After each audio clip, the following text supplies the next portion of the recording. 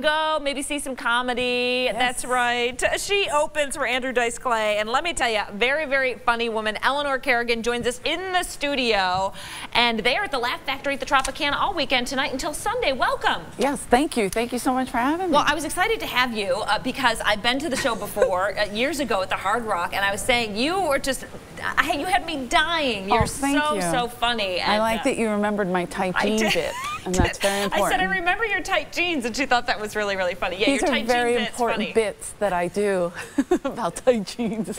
I love it. And, and vegans, I pick on vegan. Oh, you know, there's everything. Yes, you do a little bit of I everything. do pick on a lot of people, and I apologize in advance. Mm-hmm. Sorry, Well, I love it. but it's fun. I love it. I love opening for Dice. The Tropicana is so much fun. The Laugh Factory is one of the best clubs. The, sh- the shows have been so packed, Mm-hmm. and it's just been such a different energy. I don't know if it's because people need to laugh more, Probably. or what. Like, there's break. so much Political nonsense stuff. going on. You want to get away from Facebook. You want to get away from Twitter.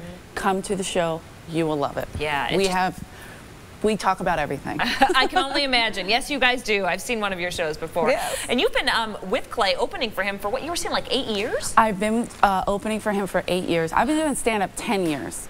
This month is 10 years for me. So I'm like, you know, getting Mm-hmm. Yeah. my 10 year in. Yeah. And uh, yeah, in the beginning when I went out with Dice, when I went to open for him, I shouldn't say went out with him, that's another story.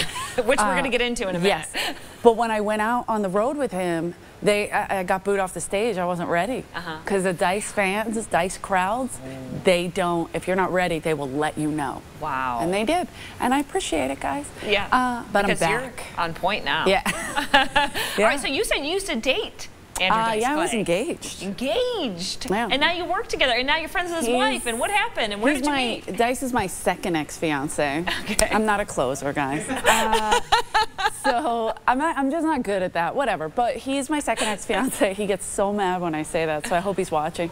And um, yes, we met at the Comedy Store. I was a waitress at the Comedy Store when I moved to LA, and then I met Dice. And we stayed really good friends even after we broke up. Like I always say, we broke up because I regained consciousness, but uh, that's kind of tough, huh? Oh, people got nervous. it's a joke. We joke about it. But uh, his wife and I are really tight as well, really close friends. In fact, for a while, I was dating her uncle. So What? it's real weird. This is a real, we- this is like a whole soap opera thing it's a going. full-blown life soap it's a family atmosphere. It's a family affair. it sure is.